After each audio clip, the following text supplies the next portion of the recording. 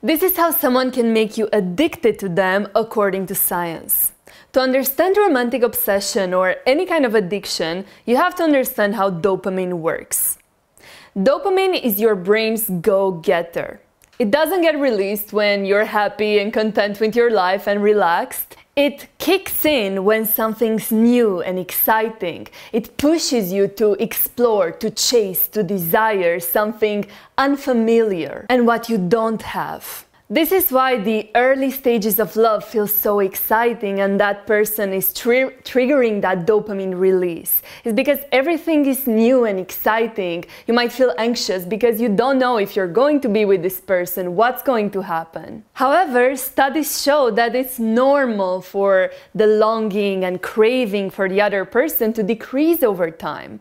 A healthy relationship triggers other chemicals such as oxytocin, serotonin, endorphins. These are chemicals that make you feel content and happy in the present moment, while dopamine makes you chase. However, that only happens when love is two-sided, when love is mutual, when love is healthy and it's stable.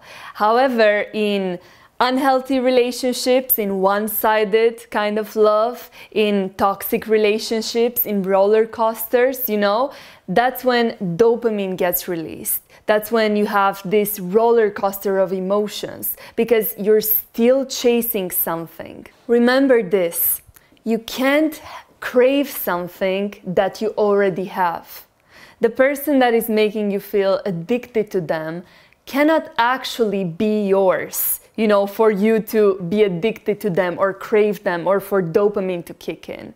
They need to be unavailable. They need to be one sided, you know, only you love them, they don't reciprocate. Or maybe they are there, but the they're not offering you stability or you know they're not making you feel loved or appreciated or they give you breadcrumbs you know and they give you like these little glimpses of love you know so you don't even know when you're gonna get it if you're gonna get it how you're gonna get it. So they're like those gambling machines you know that you never know are you gonna get it? Are you not gonna get it? So that's how addiction gets created.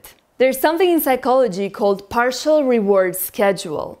They need to be giving you something inconsistently and infrequently. And this is exactly what happens with love addictions you're getting so much dopamine just from the anticipation of getting even a little breadcrumb, you know, that it becomes so pleasurable when you get it. But the reason why it's so pleasurable is one, the anticipation, and dopamine gets created in the anticipation actually, not when you get it the most. And then also because the lows are so low that it makes the highs seem way, way higher because you're traveling this maybe double distance compared to a stable relationship where there's good moments, if that makes sense.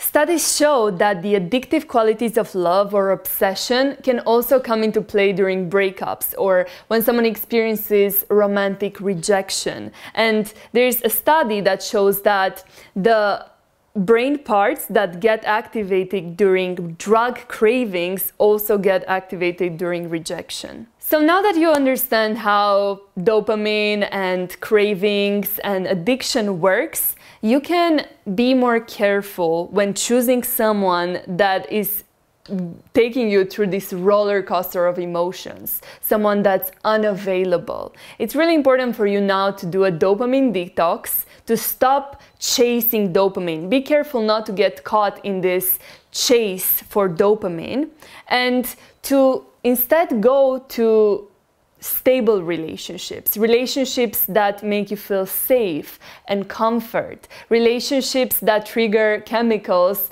that make you appreciate the here and now, such as oxytocin and endorphins instead of dopamine. I hope you enjoyed this video. Thank you so much for watching. Let me know what you think in the comments. And if you have any questions and you want a personalized video response for them, you can join my Patreon community.